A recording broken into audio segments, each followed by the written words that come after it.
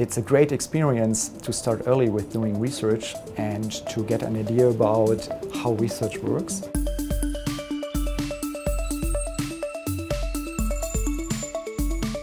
It's really satisfying to me to get an LSU Discover grant and then to know that like everything that I've been working on is contributing to something bigger and my findings are particular to me and not everyone knows what I've been finding, so that's exciting.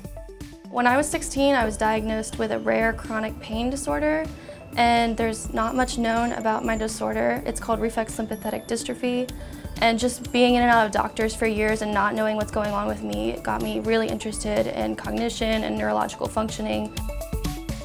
The basic purpose of my study is to evaluate whether cognitive impairments transfer into young adulthood when a sports-related concussion was sustained in late childhood or early adolescence. For my experiment, we've been looking at concentration and attention level, as well as response time and response inhibition.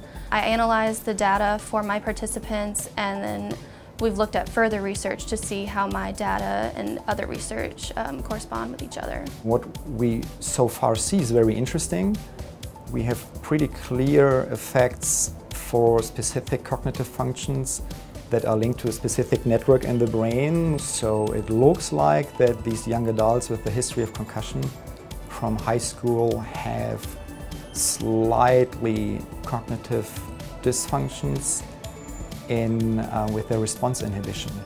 I definitely feel um, way, sometimes out of my element, but like way better about myself. It's more empowering.